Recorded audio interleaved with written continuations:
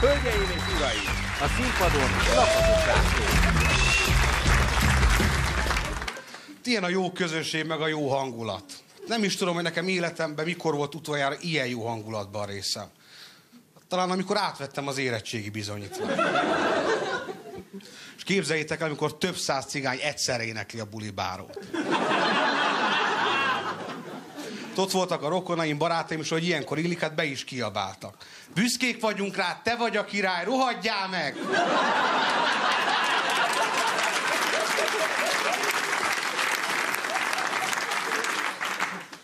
Egyébként Lakatos László vagyok, hogy azt hallhattátok, hát remélem nem okoztam nektek csalódást. És olyan vagyok, mint amilyenek elképzeltetek a nevem hallatán. Mondjuk szerintem egy tipikus László.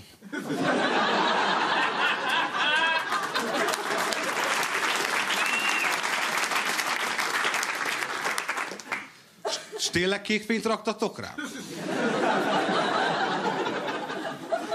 Mondjuk nekem édesapám már kiskoromban mondta azt, hogy gyerek, így haladsz, te biztos benne leszel a kék fénybe, és lám. Az öreg Nostradamus. Egyébként édesapámnak sok mindent köszönhetek, hát köztük azt is, hogy most itt lehetek veletek. Ő volt az, aki letett értem az óvadékot. Persze nem a börtönben, hanem a könyvesboltban volt egy kis restanciám, hát kijött Bödös Tibornak a könyve. Mivel új humorista vagyok, hát muszáj megvásárolni, mert a humoristáknak ez ugyanolyan státuszszimbólum, mint nálunk cigányoknak az alanyak, meg az esmerc. Tényleg egyébként ez nagyon nagy dolog, hogy tényleg valaki könyvet ír, nyomot hagy, szerintem ez mindenkiben benne van, bennem is. De persze pozitív példával, meg pozitív dolgot, szóval nem úgy, mint a repülős gizi. Tudjuk ki a repülős gizi, besúranó tolvaj. Egy pozitívumot mondok neki. 90 éves, de mai napig aktív. Én sokat gondolkoztam, hogy nála hogy nézhet ki, hogy tényleg hogy pakol ki egy lakást. Szá rájöttem. Nagyon lassan.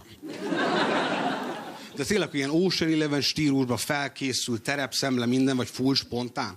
Még szerintem ez a előtervezés is nála necces. Ne adj Isten elfelejti, hogy ki kéne menni terepszemlére. Ha ott van, rossz házat néz napokig. Csak hirtelen vigyázni kell az unokákra. Akció lefúj. Úgyhogy szerintem full spontán. De hogyha spontán, akkor is legalább egy dologra nagyon kell figyelni. Hogy a húzós kocsiba a keréknyomás az jó legyen. Azon áll vagy bukik minden. Hogy mire utazhat. Hát most nem azért, de szerintem ilyenkorban az ember már örüljön mindennek. Tényleg egyébként ti is addig örüljetek, amíg én a színpadon állok, nem pedig a lakásotokba.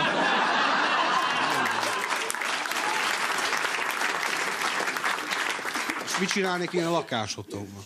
Hát tényleg nektek melyik rémisztő, hogyha hazamentek és ott áll egy cigánygyerek, vagy egy ilyen 90 éves hófehér idős asszony, de ez a horrorfilmes, hogy áll és nem mozdul.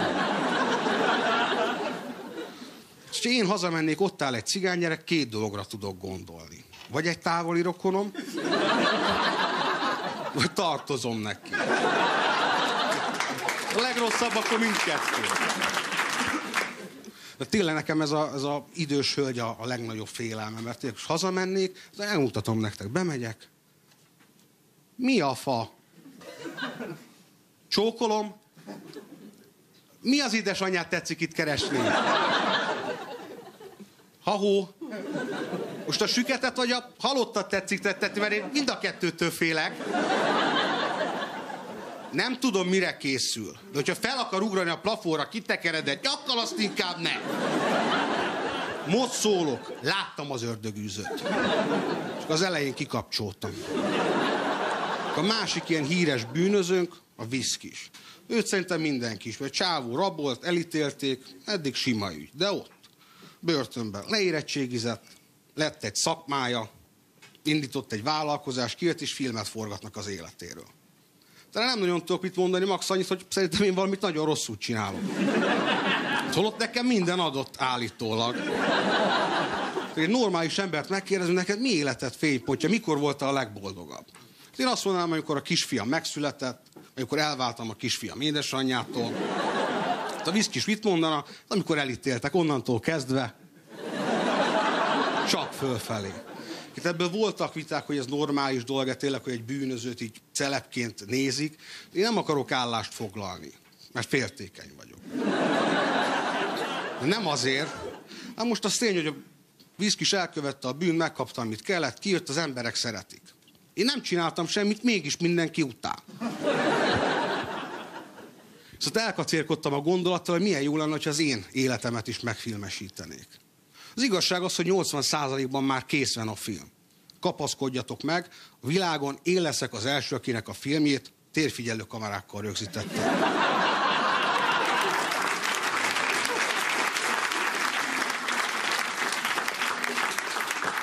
A cím is megvan, Rómát vagy Romát látni és meghalni, vagy csak ennyit, a Szigony utca. Az, hogy két C-vel legyen, vagy C-vel, azt még nem tudom. Ha nem adnák ki a felvételeket, akkor viszont ilyen régi módiasan kéne porgatni a filmet. És akkor mi lehet a buktató? Cím, sztori megvan, ki játszaná a főszerepet? Alföldi Robi? Nem túl hiteles, vagy Berecki Zoltán? A Csányos anya azért úgy, ahogy cigányforma, de most azért hízom meg 50 kilót a csáló. És itt jöttem rá, hogy rengeteg helyen nem vagyunk mi ott cigányok. Ez van miért lehet? Vagy mik azok a szakmák, amiket romáknak nem tudunk elképzelni? A mérlegképes könyvelő,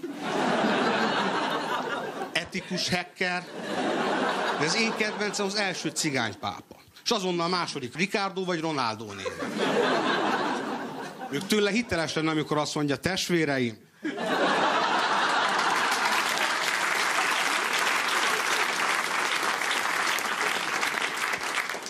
Mondjuk én örülnék neki, mert tényleg egy ilyet, hogy második Ricardo vagy Ronaldo, azt azonnal meg tudom jegyezni, mert nekem nagyon borzalmasan rossz a névmemóriám. Számok terén olyan vagyok, mint az eső ember. Telefonszám, PIN kód, más PIN kódja. Azonnal. De nevekkel az a hadilábon alkat. Amikor bekerültem ide a Duma színházba, rajtam kívül még 12 ember kapott lehetőséget.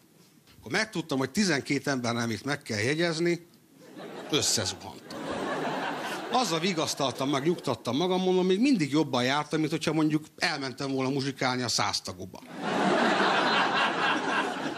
Hát tényleg nekem olyan rossz a névmemória, hogy amikor a harmadik embernél tartottam, már elfelejtettem az első kettő nevét.